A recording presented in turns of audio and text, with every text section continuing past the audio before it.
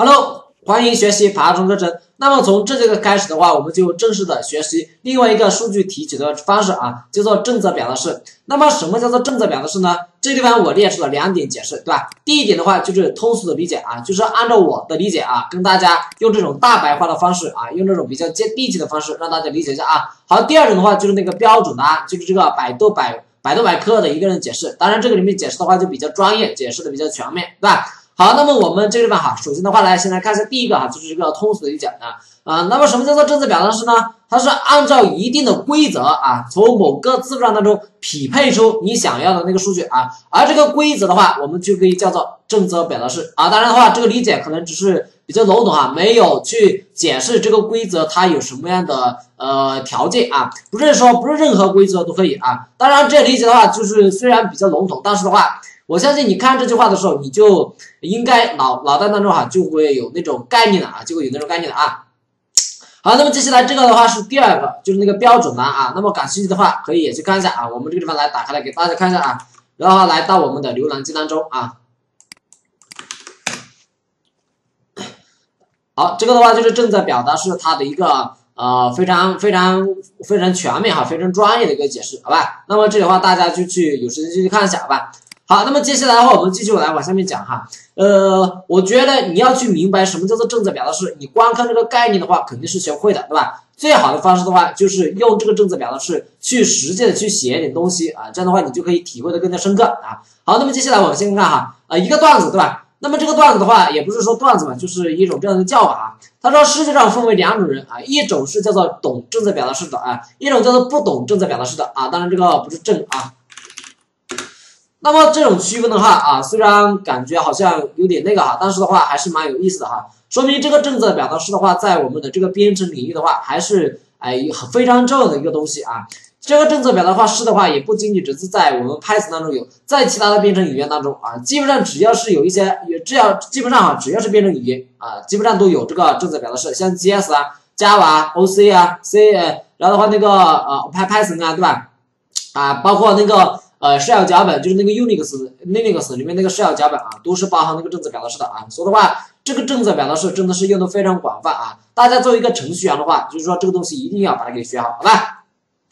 好，那么接下来啊，我们这个地方的话就啊不讲那么多东西了，不讲那么多理论性的东西啊，我们就直接带大家啊去写那个正则表达式，让大家能够体会到这个正则表达式，能够呃匹配出来一些这样的东西，好吧？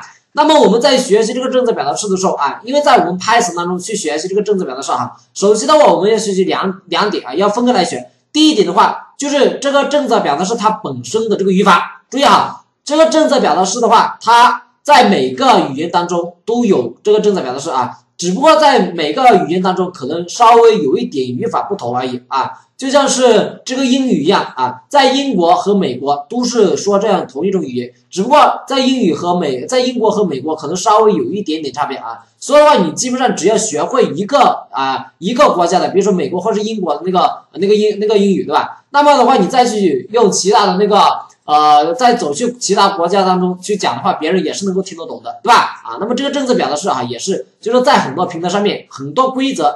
绝大部分规则都是一样的啊，只有小部分不一样，对吧？所以，我们这个地方的话，我们首先的话就来先来学习一下这种规则。等我们学习完这种规则以后，我们再跟大家去讲解一下我们这个 Python 当中它那个政策表达式的那个模块，就是这个 IE 模块里面的一些这样的函数，好吧？一些里面一些这样的函数啊。所以的话，就是来做一个这个学习，好吧？好，那么我们这个地方的话，就先来学习一下我们这个政策表达式里面的这个语法啊。第一个的话啊，这个要叫做什么呢？匹配某个字符串，好吧？匹配某个字符串啊。那么我们这个地方的话啊，提前要跟大家讲讲哈。我们在讲这个政策表达式语法的时候，我们会需要借助 Python 当中的一个函数，一个政策表达式的函数，叫做 match 啊。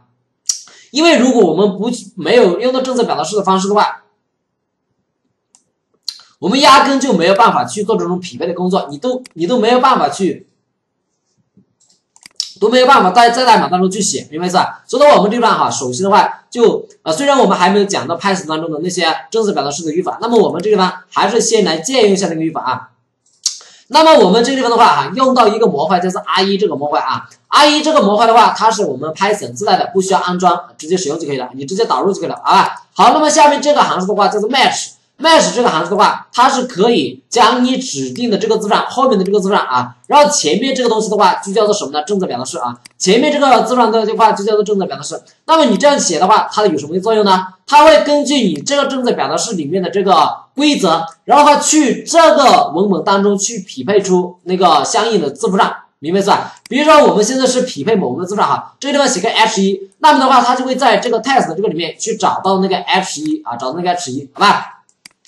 好，那么接下来的话，我们就用这个啊 match 这个东西来教大家学习这个正则表达式啊。好，来打开一下我们的这个 Pycharm 啊啊，这个地方的话，我是已经之前备课一些这样的项目啊，那么我这个地方的话就把它给删掉啊，把它给删掉啊。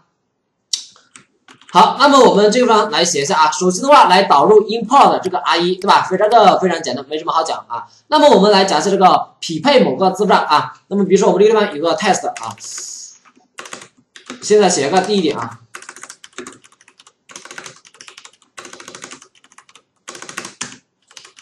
配某个字符串对吧？好，然后的话这个地方我给个 test 啊，等于这个什么呢？等于个 hello 啊，hello。好，然后的话，这个地方 i t 等于什么呢？i e 点 match m a t c h 啊，然后这个地方我要把我要匹配什么呢？我要匹配 h1 这个啊，然后 h1 这两个字符啊，后面的话再把这个 test 扔进去啊。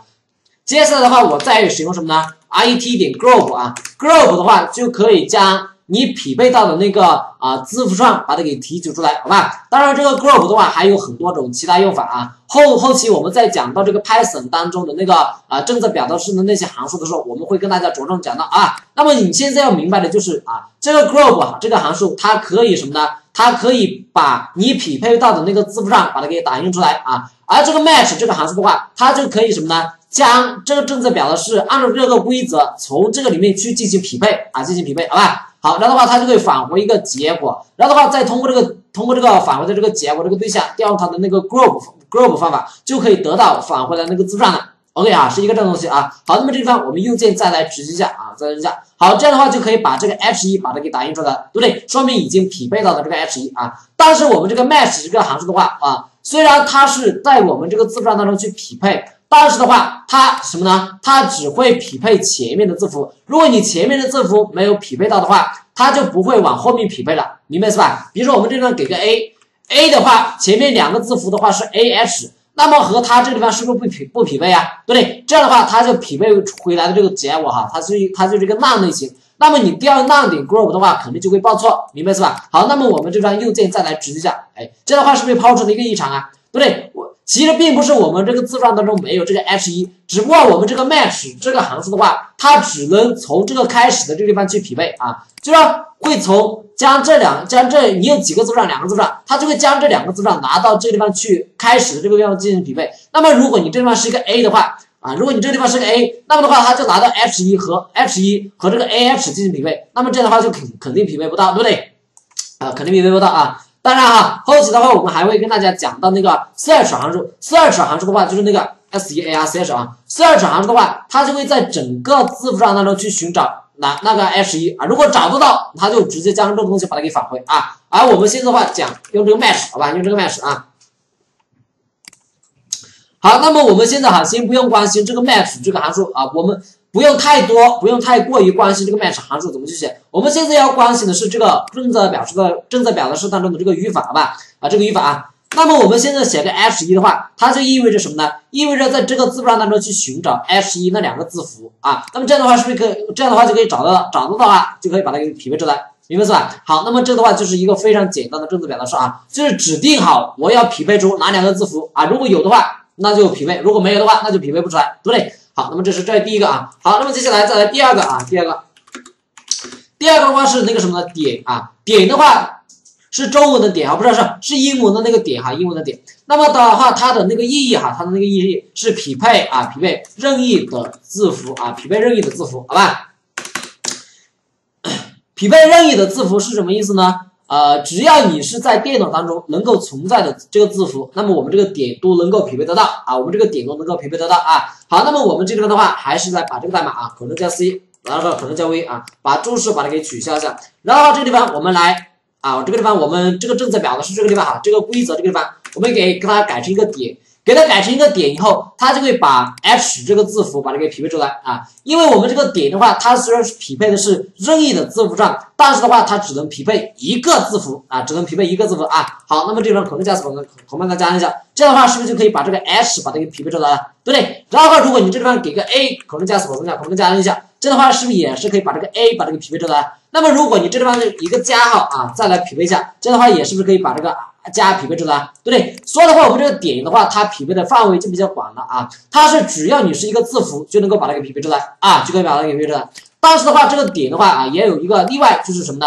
这个点它不能匹配这个换行符啊。如果匹配的是这个换行符，它就匹配不到啊。比如说在你的这个里面啊，你给一个换行符，就是反其根 n，就是那个换行符，对不对？反其根 n 它就匹配不到啊。那么这个地方可能加一下。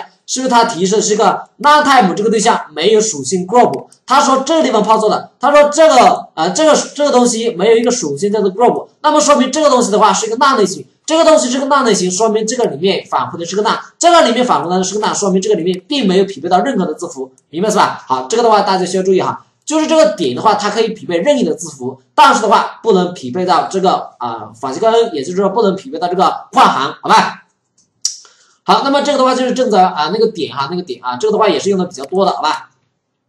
好，那么我们复制一份，然后的话再把这个注释一下啊。好，那么接下来我们继续的往下面讲啊。第三个啊，第三个的话就是什么呢？反斜杠 d，反斜杠 d 的话是匹配什么呢？任意的字符啊啊，任意的数字哈，任意的数字的话就包括零到九了啊，就包括零到九了啊，对吧？就包括零到九啊。我们这个地方，比如说我们这个地方写一个什么呢？写个那个一啊，然后的话我们这地方写个斜杠 d 啊，斜杠 d 啊，斜杠反斜杠 d 啊，反斜杠 d 啊，我们来加了一下，哎，这样的话就可以把这个一把它给匹配到，对不对？那么如果你这个地方给个零啊，再来看一下可不可以？是不是也可以啊？对不对？那么如果你这地方给个 a，看一下能不能行啊？a 可能加死保存下，可不能加一下？这样的话就匹配不到了，对不对？因为我们这个反斜杠 d 的话，它匹配到的是那个数字啊，匹配到的是数字，好吧？比如说我们这地方再给个加号，这样的话它也匹配不出来啊，也匹配不出来。那么我们这个反斜杠 d 啊，就是匹配的是数字啊，匹配的是数字，非常简单哈，非常简单啊。好，可能加 C 保存一下啊。那么接下来我们啊再来往下面走啊，第四点啊，第四点的话是那个什么反斜杠大 D 啊，反斜杠大 D 的话，它是匹配什么呢？匹配任意的非数字，匹配任意的非数字啊，它就跟我们这个反斜杠小 d 是正好相反的，对吧？你反斜杠小 d 匹配的是数字，那么我反斜杠大 D 啊，正好与你相反啊，匹配的是任意的非数字，好吧？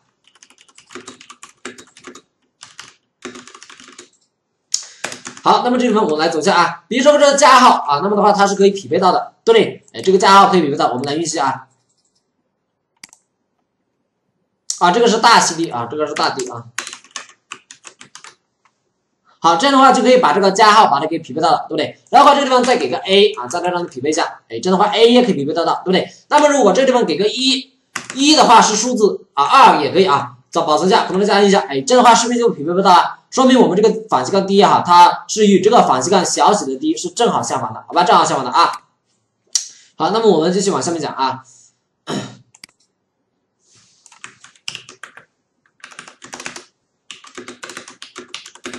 接下来的话是这个反斜杠 s 啊，反斜杠 s 的是匹配的是什么呢？匹配的匹配空白字符啊，空白字符包括哪些呢？包括这个反斜杠 n 就是这个呃换行符啊，以及包括这个反斜杠 t 就是这个制表符，以及包括这个什么呢？反斜杠 r，反斜杠 r 的话，它在我们的 Windows 操作系统上面啊。在我们的 Windows 操作系统上面，在我们的 Windows 操作系统上面，如果你想要换行的话，那么都就是反斜杠 n、反斜杠 r、反斜杠 n 这种组合的方式，对不对啊？那么在这个，如果你有反斜杠 r 啊，也可以被我们这个呃反斜杠 s 进行匹配啊。好，那么还有什么呢？还有那个空格啊，就是这个反斜杠小写的 s 的话啊，反斜杠小写的 s。它就可以匹配到那个啊任意的空白字符啊任意的空白字符啊好，那么这地方我们来写一下啊呃这个地方可能加 v，然后的话这个地方是反斜杠呃 s 对吧？好，然后的话我们这地方再来写啊反斜杠啊不是反斜杠 s，这个地方是那个比如说我们写个 a b 啊，那么这个地方写个小写的 s 啊 a b 的话不是空白字符，那么它这个地方是不是报错啊？有点？报错啊，说明匹配不到。那么如果这地方给它一个空格，给它一个空格啊，再来保存一下，我们加一下。好，这样的话就匹配到了，对。你不要看它这个地方打印的是个空的哈，它其实是匹配到的啊，其实匹配到的啊，只不过是空白字符你看不到而已啊。好，那么如果这个地方再给个什么呢？仿西杠 n 啊，这样的话它也是可以匹配到的啊，也是可以匹配到的啊。然后或者仿西杠 t 对吧？是制表符啊，也是可以匹配到的啊。还有仿西杠 r，仿西杠 r 啊。好，那么也是可以匹配到的，对吧？就是以后你想去匹配那些空白字符的话，那么就可以使用这个啊啊仿西杠小写的 s，对吧？啊，也是非常简单，非常简单啊。好，那么接下来我们再来讲一下啊，啊这地方可能叫 c，下面一个的话啊，下面一个。下面一个的话是那个什么呢？反斜杠小写的 w 啊，反斜杠小写的 w，它是匹配的那是那个什么呢？呃，小写的 a 到 z 以及大写的 a 到 z 以及那个数字以及那个下划线啊，匹配的东西比较多是吧？呃，这因为这些东西的话都是比较常用的，所以的话它就专门出了一个小写的 w 这个东西来包含这些东西啊，包含这些啊。好，那么接下来我们来说一下啊，就是这个地方做个注释啊，就是匹配匹配的是啊小小写的 a 到 z 以及。什么呢？大写的，大写的 a 到 z 啊，以及那个什么呢？以及那个呃下划线啊，数字啊，数字和下划线啊。好，那么这地方我们来走一下啊。比如说这个地方我给一个什么呢？给个 a 啊，然后然后的话这个地方给个小写的 w 啊。保存一下，我们再加一下，这样的话就可以匹配到的，对不对？然后如果这个地方给个大 Z 啊，保存一下，我们再加上一下，这样的话也可以匹配到。我给个一啊，也是可以匹配到的啊，也是可以匹配到，对不对？然后我给个下划线啊，给个下划线啊，那么的话也是可以匹配到啊，也是可以匹配到。那么如果给其他的字符，比如说给个加号，这样的话就匹配不到的，对不对？好，那么这个的话就是我们的小写 w 啊，小写 w 啊，就是匹配的是小写的 a 到 z，大写的 a 到 z 数字以及下划线，对吧？这些的话就是在我们编程里面用的比较多的啊，所以的话就会匹配出来啊，就会有这个专门的小写用来匹配啊。好，那么接下来我们继续的往下面讲啊。第七点，第七点的话是那个反斜杠 w 大写的 W 啊，它匹配到的是和这个反小写的大小写的这个反斜杠 W 正好是相反的，好吧？正好是相反的啊，反斜杠大大写的 W 啊。匹配啊，正好与什么呢？啊，与那个小写的 w 相反啊，相反，对吧？就是你小写的 w 反匹能够匹配到什么，那么我这个大写的 w 就不能匹配到什么，对不对？然后你这个小写的 w 哪些不能匹配，那么我这个大写的 w 我就正好能够匹配，对不对？啊，正好和它相反啊。好，那么我们这地方的话改改成什么呢？改成这个大写的 w 啊。那么这个加号的话，使用小写的 w 是匹配不出来的，但是使用这个大写的 w 是可以匹配到的，对不对？好，那么这地方我们再来执行一下啊。好，那么这样的话，这个加号就可以匹配到啊。那么如果给个下划线啊，如果给个下划线啊，这样的话就匹配不到的，对啊？就匹配不到的啊。或者我给个数字 a 啊，不是数字哈，是字母 a 啊。好，这样的话也匹配不到啊。好，那么这个的话就是大写 W 和那个小写的 w 是正好相反的，好吧？好，那么讲完这个东西以后，接下来我们再来讲一下另外一个，就是这种组合的方式，好吧？组合的方式啊，这种组合的方式的话啊，就比较强了，对吧？它就是可以。你如果有多个字符啊，有多种情况，那么的话它也是可以匹配啊。啊，只要满足中括号中中啊中括号中的那个什么呢？那个字符啊就可以匹配啊，就可以匹配，好吧？只要满足的是那个中括号当中的那个字符，那么的话它就可以匹配啊，那么的话就可以匹配啊。比如说我们这个地方哈，我想我想匹配那个。呃，一和 a 啊，那么的话我就这样子写，就是写个写个一或者是 a 啊，一 a 和一都这样啊。那么这的话，以后在这个数字当中哈，在这个字符当中出现的 a 出现的一都是可以匹配到的。那么其他字符它就匹配不到的啊。那么我们这边再来运行一下啊。好，这样的话就可以把这个 a 把它给匹配到了，对不对？然后如如果如果这个这个地方给个一啊，那么的话也是可以匹配到的，对不对？也是可以匹配到的啊。然后如果给个二啊，那么这样的话就匹配不到了啊，这样就匹配到了不匹配不到了，对不对？好，那么这个的话是，哎，是这一个啊，是这个啊。好，那么我们接下来哈，再来看一下，就是我这地方的话啊，举了一个例子，对吧？举了一个例子啊。就是呃，这个里面的话啊，你除了使用这种就是 C S C S 的这种，你还可以使用我们之前跟大家啊讲的那几种，比如说反斜杠 W 啊，大写的反斜杠 W 也这这种东西也是可以的啊，就是放在这个里面啊啊，比如说我们这个地方哈，想要去匹配到这个，想要去匹配这个什么呢？这个呃手机号码啊，想要去匹配这个手呃不是手机号码，是这个电话号码啊，电话号码。那么电话号码的话，它是不是前面有四个那个区号啊？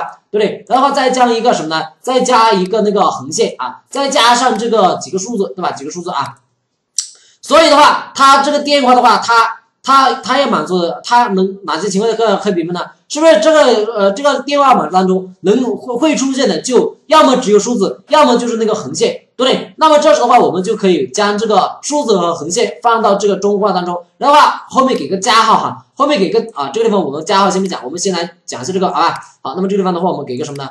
将这个来零七三幺啊，零七三幺，看八八八八八八八八，随便给了啊。好，那么这个地方我们我们想让它匹配到的是什么呢？哎，要么是那个呃那个数字，要么是那个横线，对吧？那么的话，数字的话我们之前学过是什么呢？是不是斜杠反斜杠 D 啊？对？那么我们这边写个反斜杠 D，如果横线也是可以的。那么这个地方我们就给个横线啊，因为横线这个东西它可能是一个啊关键的啊，说的话是一个特殊字符，说的话我们这个地方给个斜杠，给它进行转义，好吧？给它进行转义啊。好，那么这样的话它就可以将什么呢？前面的这个零把它给匹配出来。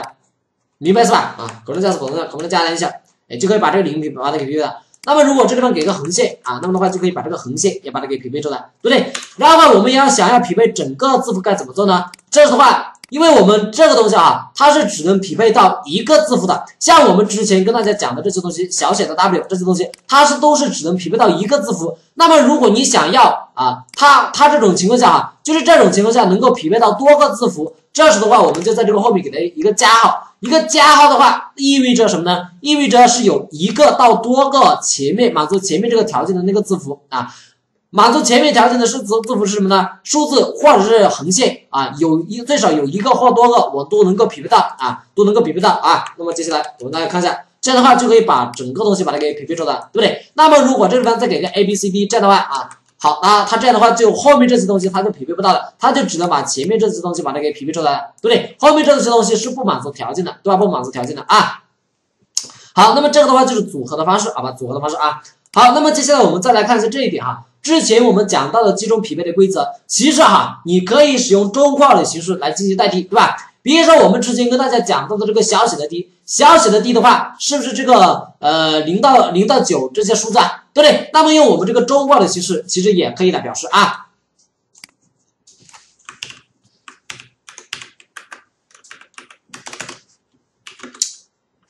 八零一啊，就是那个那个中括号啊，括弧括中中啊括号的形式啊。代替代替代替小写的 d 对吧？代替小写的 d 就是那个数字啊。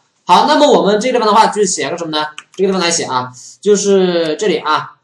好，我们这地方的话，先给个随随便先给个其他的啊，比如说给个给个 a a b c 啊，或者是给个零零到零零和九啊。然后这个地方我们这个小写的 d 的话是可以匹配数字对吧？那么其实用我们这个中括号的形式的话，我们就可以这样去写，我们可以就这样去写啊，就是零到九。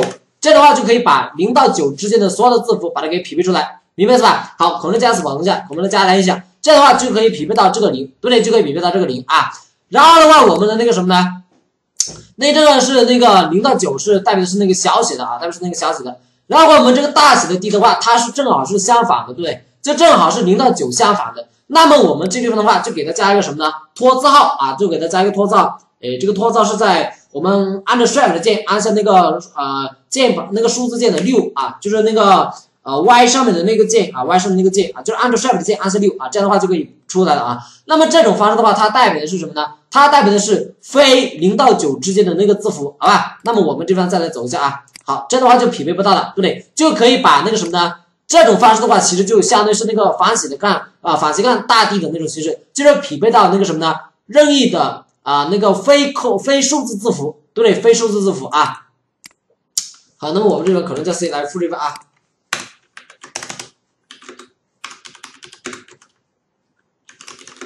周括号的形式啊，代替什么呢？反斜杠大 D 啊。好，这个地方改成那个呃 A 啊。好，这样的话就可以呃，我先把这个上面注释掉啊。好，这样的话就可以匹配到的，对不对？而如果你正给个数字的话，它反而不能匹配到，对不对？好，那么这个的话代表代表的是那个反斜杠大 D 啊，然后还有是那个，还是那个什么呢？小写的 W，对吧？小写的 W 包含哪些呢？小写的 W 是不是包含小写的 A 到 Z、大写的 A 到 Z 以及零到九以及那个下划线啊，对不对？那么放在我们的这个中括的其实我们也可以来写啊。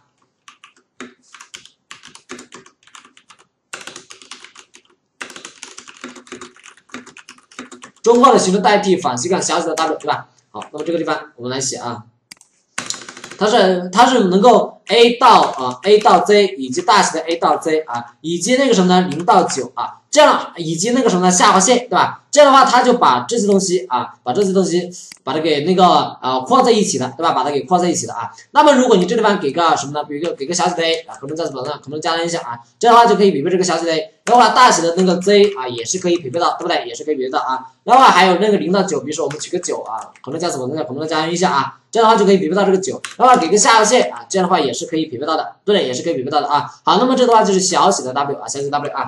好，大写的 W 的话就正好是相反的，对不对？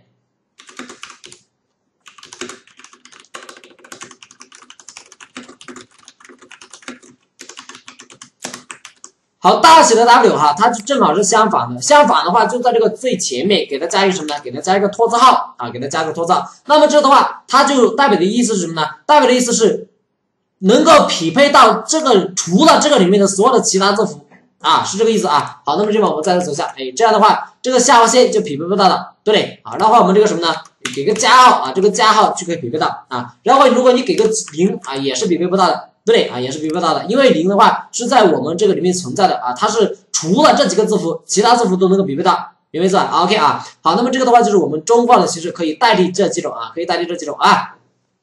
那么我们这节课的话就跟大家讲到这里啊，我们这节课就跟大家讲到这里。我们这节课主要是讲那个什么呢？正在表达式匹配单个字符啊，匹配单个字符。你现在看到我们这地方是不是匹配的都是单个字符？